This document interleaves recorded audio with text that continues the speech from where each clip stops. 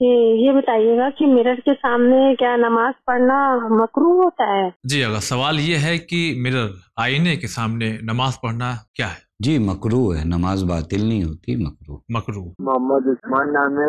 मेरा ये क्वेश्चन है अगर नमाज़ फजर तलक है कि नहीं? ये मोहम्मद उस्मान साहब ये पूछ रहे हैं कि ऐशा की नमाज़ फजर तक है कि नहीं? ये भी सवाल को थोड़ा से वाजह करने की ज़रूरत है, क्योंकि एक मरतबा आप इख्तियारी सूरत में नहीं, मेरे पास कोई काम काज नहीं है, मैं जाग रहा हूँ और ऐशा की नमाज़ का वक्त आ गया, मगरब ऐशा का। मुझ जैसे इंसान के लिए जो मुख्तार है, उसके लिए नमाज़ ऐशा का वक्त निसफ शब तक है, यानी आधी रात तक है। लेकिन एक इंसान सो गया या गफलत में था। अब उसके बाद वो निसफ शब के बाद अगर बेदार होता है तो बाज़ मकाम पर है कि उसके लिए नमाज़ सुबह तक ईशा का वक्त है। अच्छा ऐसे लेकिन लोगों वो के ऐसे लोगों के लिए तो इसको दोनों चीज़ों को अलग करने की ज़रूरत है। या मलेर कोटला पंजाब से ये सवाल है कि हमें हमारे ही लोग जो है जलील करते हैं ऐसी सूरत में हम क्या करें जबकि दूसरे इज़्ज़त देते हैं? जी बेहतर है देखिए हम आपकी खिदमत में अर्ज़ करें आप लोगों के इज़्ज़त देने और लोगों के जलील करने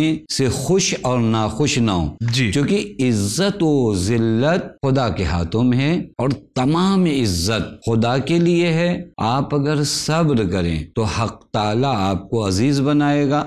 मैंने एक रवायत देखी इमाम हसन अस्करी सलाम फरमाते हैं कि अगर कोई इंसान जो पस्तर था कमतर था वो हक के साथ आया तो अल्लाह ने उसे अज़ीज़ कर दिया। जी। एक इंसान बहुत बड़ा था लेकिन बातिल के साथ गया तो जलील हो गया। सही। तो आपके लिए वजीफा और ज़िम्मेदारी है हक के साथ रहिए अज़ीज़ रहेंगे जीनत सैयद मुमरा से सवाल ये है कि रोज़ी में इजाफे के लिए कोई दुआ बता दीजिए देखिए ये बात जगहों पर है कि सबसे पहली चीज़ तो बात चीज़ें हमारे यहाँ रायज हैं जैसे सूरह वाक़या नमाज़ मगरिब के बाद पढ़ना हम्म। चालीस दिनों तक सूरह मजम्मिल को अच्छा। हर रोज़ पढ़ना अतः हर रोज़ सौ मरतबा हम्म ला इलाहा इल्लल्लाहुल मलिकुल हक्किल मुबीन का पढ़ना भी वसत रिस्क के लिए बहुत अहम और बहुत ही ज़्यादा मुजर्रब अमल है। अगर कोई खुद को सैयद बताता है और लिखता है तो क्या तहकीक करना ज़रूरी है सहम सादात देने के लिए? देखिए इसके लिए है कि दो आदिल गवाह हम्म। दें सियादत की जी।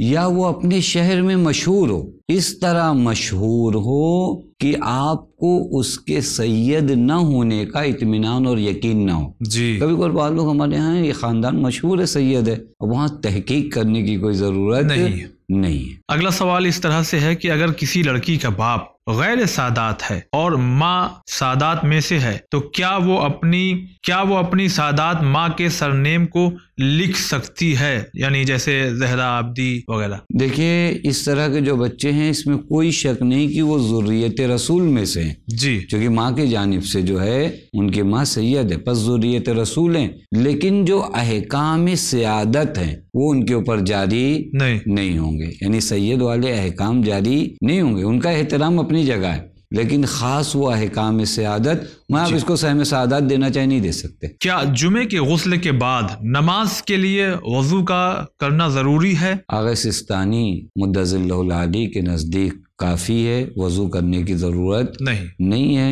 आयतुल्ला खामनाई के नज़दीक वज़ू करना ज़रूरी है।